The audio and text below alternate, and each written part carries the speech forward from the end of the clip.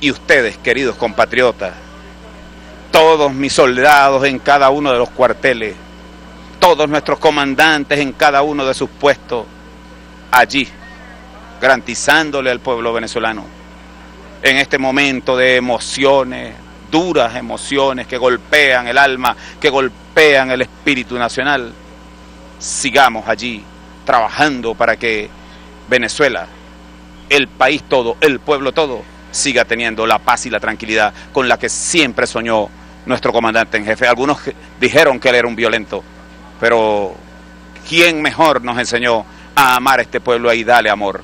Eso es lo que vamos a hacer ahora, nosotros y el pueblo, darle amor a esta tierra. ¿Dónde lo tomó usted esta noticia? ¿Cómo la recibió? ¿Qué estaba haciendo? ¿Con quién estaba? ¿Qué hizo? Estábamos en plena reunión del alto mando militar. No me llamó el ciudadano vicepresidente ejecutivo Nicolás Maduro. Me pidió que viniera aquí a dar esta infausta noticia. Y aquí llegamos.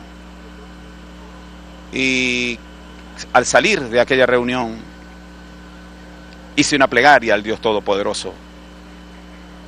Y después miré en lo profundo de mi alma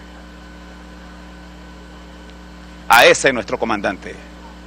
Y le dije, comandante, deme la fortaleza, deme la sabiduría para en estos momentos difíciles saber cumplir con mi deber y poder conducir las operaciones de nuestra querida Fuerza Armada Nacional Bolivariana.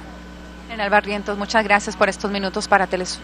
Muchas gracias a ti y a todo el pueblo venezolano y a la patria grande de la Latinoamérica. No hemos perdido a Hugo Chávez.